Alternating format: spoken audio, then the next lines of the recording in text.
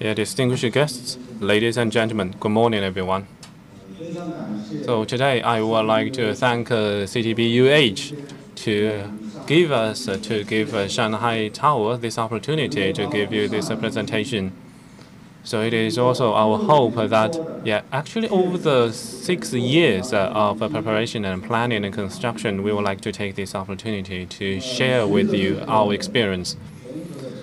So because of the global urbanization and economic uh, growth uh, for the super high um, buildings, uh, I think for those um, places with scarce land resources and high population and also high frequency of economic activity, it is unavoidable to have super high buildings.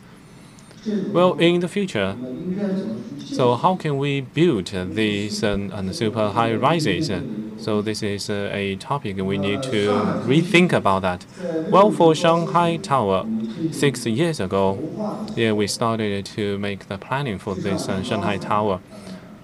Actually, as mentioned by Vice Mayor and also our chairman, so actually we really didn't uh, um, only pursue the height of the high rises because uh, depending on existing technology, yeah, of course uh, we can have even taller building. However, we didn't really pursue the taller buildings. For us, uh, the priority is given to the humanity because we want to have uh, better functionalities uh, in order to have a more harmonious and sustainable growth model. So today, I would like to share with you our experience with the Shanghai Tower in five dimensions because over the past years, uh, we have made a lot of explorations. So I would also like to share with you what are our um, pursuits.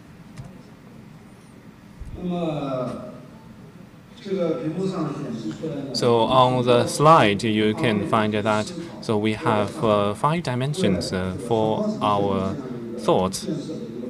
So this will be our future direction. So first, uh, in terms of the architectural concept, uh, that is uh, the harmonious community. Then is uh, the function, that is our vertical community. Then in terms of the quality, it is about the green community. And fourthly, for the architectural information, we are going to build uh, a smart community. And finally, it is about our cultural community.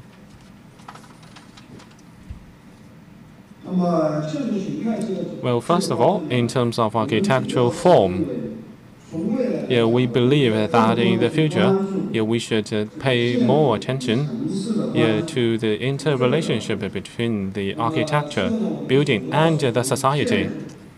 So in this regard, so we think about the area, city, and architecture.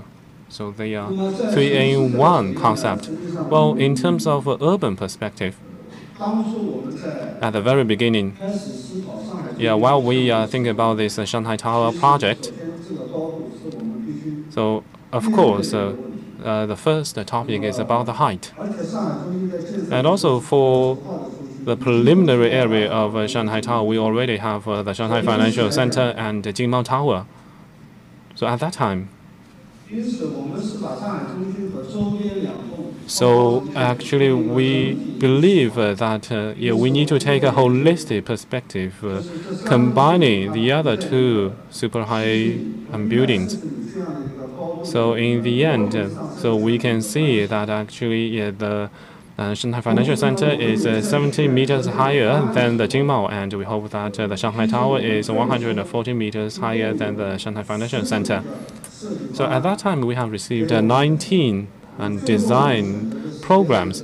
And finally, we have uh, chosen Gensler. So we have uh, chosen this uh, spiral architectural form. So at that time, yeah, why we choose this shape? Because we hope that this shape can be compatible with the, the other two high rises. And then, in the regional perspective, so we hope that the project of Shanghai Tower can help us uh, to make better facilities for our transportation. You know that uh, the density of building and density of population is pretty high, and also the traffic volume is also pretty high in this area. So at the very beginning, so we pay more attention to the planning of the underground uh, transportation. And thanks to the underground transportation network, so now we have uh, four buildings that are interconnected with each other. But in the future, we believe that more buildings uh, can be interconnected by our underground network. So we would like to release our ground transportation pressures. And then yeah, we would like to add more characteristics to the buildings uh, by means of science and technologies and uh, humanity, especially for our Shanghai Tower. So you can see that it is uh, rising in a spiral way. Well, in addition to the beauty of its architectural form, we also have uh, optimized its structures. For example, we use uh, the wind tunnel. So actually, the spiral by 120 degrees, and actually we can um, reduce uh, the wind pressure by um, 24%. And in this way, the energy conservation can be better realized. So second is about our vertical community. Yeah, because uh, conventionally, yeah, we only have a very single functionality. Now we would like to have a vertical and also multifunctional community. Through this uh, vertical community, its functionalities uh, can be more diversified, and we can also have a better life there and uh, more um, comfortable space and also safer places. So we have uh, made improvement uh, on the functionalities and the zoning in this area. So for the entire building, it has been divided into eight zones. Yeah, we have uh, the public um, car park, and uh, we also have the conference uh, hotel and office, and at the top it is observation level. So you can see that it can be divided into different zones. Through such uh, zoning, so we can effectively arrange uh, the transportation and also supporting facilities.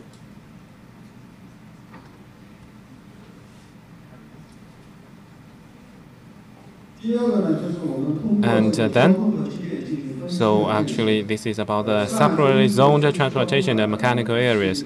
Yeah, because uh, for the Shanghai Tower, the vertical transportation is one of our characteristics. Yeah, because uh, from um, ground, uh, the first and the second level, and uh, we have the internal uh, vertical elevators. So by doing so, especially during the peak hours, so we can help yeah, release uh, the pressures uh, of uh, populations in this area. And also by means of this vertical transportation, so even under special cases, so we can try to divert the population and also the flow of population in a very fast way. And we have also taken into consideration the connection to public transport.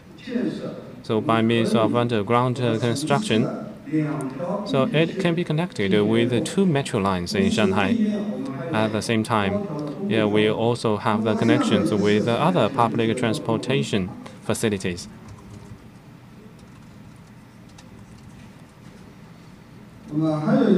In addition, so we also have the plazas inside the Shanghai Tower. Yeah, because this is also one of the special designs. because for many buildings, so in addition to the functional pay, uh, spaces, so actually a lot of uh, um, buildings are lack of uh, the places for public communications. So in Shanghai Tower, so we have uh, set up uh, some um, plazas uh, just like in all the streets inside our tower. For example, we have eight areas in our tower and we have uh, uh, three sky lobbies. In total, there are 24 sky lobbies in the tower. So of course, it can play a role of uh, public transportation intersection, and also for different areas, uh, different groups of people can choose these uh, sky um, lobbies uh, for dialogues and communications. and we also have the shops, we have offices, and also have a hotel. So there are also independent lobbies uh, for these offices and hotels, and uh, in the underground. And uh, we also have uh, some other green areas uh, to be connected with each other. It is uh, just like the public plazas. So we hope that different types of people can have used these kind of green areas and public plazas for communications and other activities. And we also have three-dimensional green areas. And we also you know, we have uh, more than 570,000 uh, square meters, and we have more than 100 uh, stories, and we have uh, around uh, five uh, underground stories. So in this complex building, and we have set up different functionalities. yeah, because it is our hope that it can become a real community. It is not just an office building. It's not just a hotel for a hotel or conferences. We hope that it can be built into a community. And uh, thirdly, we have also given um, priority to the green community. Six years ago, during the process of um, preparation, so according to our project division, yeah, we hope that uh, the future trend will be yeah, greener, more environmental, and uh, also more energy conservation. So at that time, yeah, we have uh, set up our principle to become a green, environmental, and uh, energy saving. To be more specific, uh, we try to follow the standards uh, by the U.S. LEED Gold standard and also the Chinese architectural standard of uh, level three. Our chairman has also mentioned just now that two years ago, yeah, we have been granted yeah, the certificate of LEED Gold.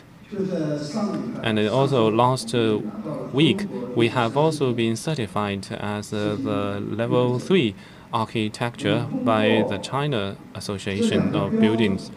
So it is believed that uh, through these uh, two certificates, we have in total employed uh, 43 energy conservation technologies uh, for this um, building for example. So we try to conserve our land resources. So you know that uh, it covers an area of uh, 30,000 square meters, and uh, in terms of the floor area, it covers uh, more than 570,000, and the plot ratio is uh, 4. It can occupy less um, 9 hectares. So in such a highly populated uh, city with uh, very scarce land resources, I think this is a very important initiative. In a second, in terms of water resources and non-conventional energy utilization, we adopt gray water and rainwater harvest and recycling techniques. And the annual recycling volume of gray water is around 235,000 cubic meters and 20,000 rainwater harvest each year. So in terms of the utilization of the non-conventional water source, it amounts to 25% of the total water we use. In the meantime, we also adopt uh, water resources conservation equipment and we do uh, electricity generation by wind power. And in respect to energy conservation, we design a double facade with a shading system and tomorrow afternoon, we will make arrangements for a tour to visit the site of the Shanghai Tower. Up to now, the exterior curtain wall of a six to seven stories already starts to be constructed. So we used a double skin facade with a shading system. And in the atrium, we also set up the kind of uh, heat insulation and sound insulation and energy conservation devices. So according to the Green 3 Star criteria in China, the total energy saving rate is around 54.3%. According to LEED standard, the level is 24.8% of energy saving. And material utilization, we use a lot of uh, high strength concrete.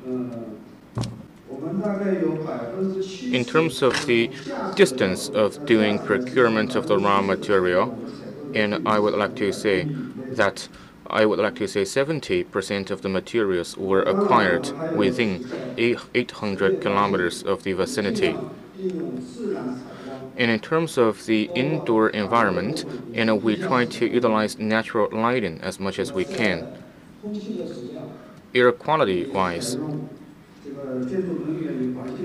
we also adopt those environment condition monitoring system in operations and management.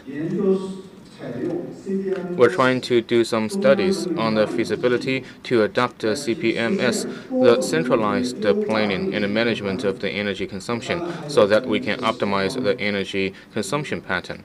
And then green construction. All right, so I already shared with you a lot of information on green buildings. All right, I still have like 10 minutes to go. So firstly, I will share with you from the perspective of a smart community some of the important information. As information technology continues to develop with the concept of intelligent city, which was continuously being raised. Building construction and management in the future will require an advanced information technology to deliver an unprecedented high-quality service, greater efficiency, less resource consumption, and a sustainable lifestyle. So when it comes to Shanghai Tower, we mainly do implementation from the following aspects. First, the development of the information network, an infrastructure construction based on networking, optic fiber, ICT, and RFID technology. So some of the projects are underway. So the vast amounts of information are processed, filtered, and integrated with intelligence, which builds a basic foundation for the wise community or intelligent community.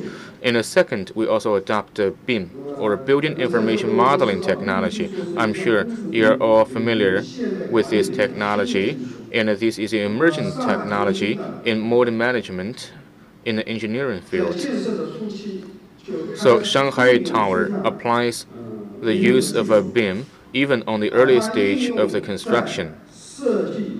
Applying BIM into building design, construction, procurement, property management, billing, measuring, etc. So it is adopted throughout the entire life cycle of the buildings.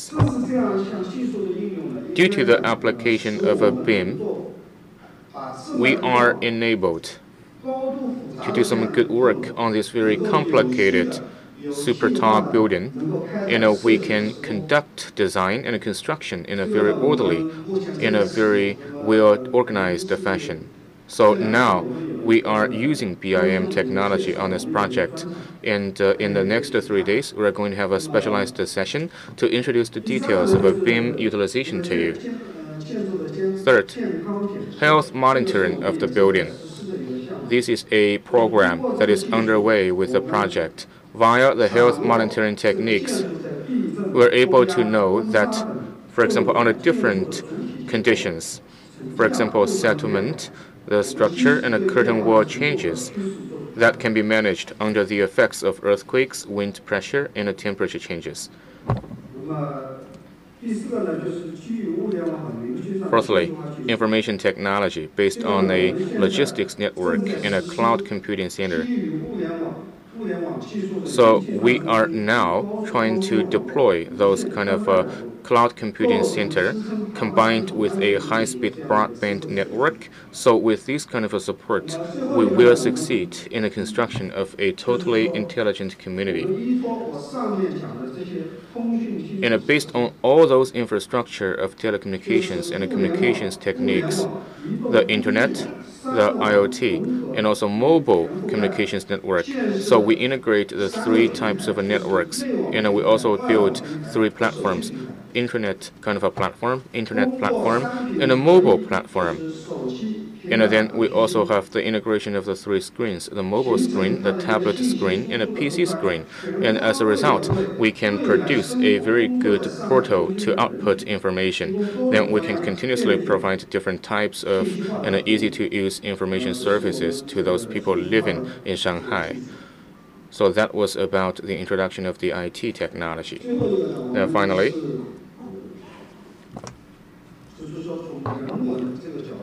we can look at uh, cultural dimension. So from the cultural point of view, how we are supposed to build this urban complex.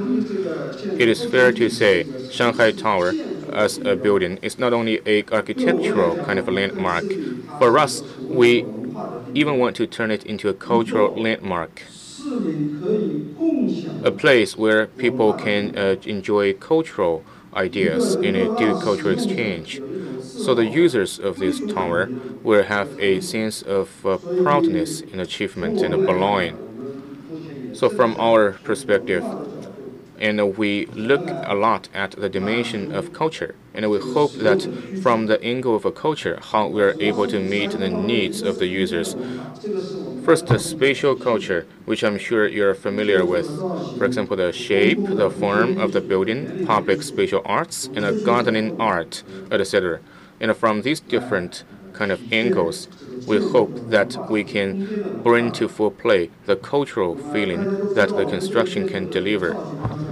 And regarding the shape and the form of the building, as I already mentioned, this building has a very kind of a streamlined design in the exterior shape. This is well in line with the features of Shanghai being the capital city of fashion in this country. In the meantime, I also mentioned we have like 24 sky lobbies. So all those sky lobbies provide us with very beautiful and very nice spatial cultures indeed.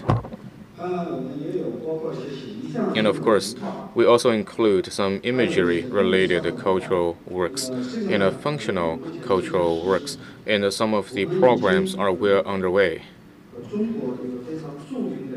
we have already been working with a very famous museum in China. We already signed a cooperative agreement with the museum and on the 37th floor of the building, and we're gonna make arrangement for a small styled special kind of a museum on the 37th floor. And we also try to work with other cultural authorities, trying to make sure we can supply power or electricity 24 7 and some of the collaborative effort is underway. So we hope that this will no, not only become a architectural or building space, but it can also become a cultural landmark. All right, that's my very brief introduction. And tomorrow afternoon, we're going to organize a visit to the site of the construction of Shanghai Tower. And by then, we're going to have more interactions. And I also welcome you and I hope that in the near future, please drop in on our Shanghai Tower site from time to time. And uh, on November 29th, uh, 2008, the construction formally started. By December 31st to 2014, the kind of uh, civil works uh, of engineering was basically wrapped up. And uh, then by 2015, the operations will be formally launched. So actually, no matter whether it is under construction or it is in operation in the future, you're always welcome to visit it. And we also hope that CTBUH can be doing business inside Shanghai Tower. Thank you very much.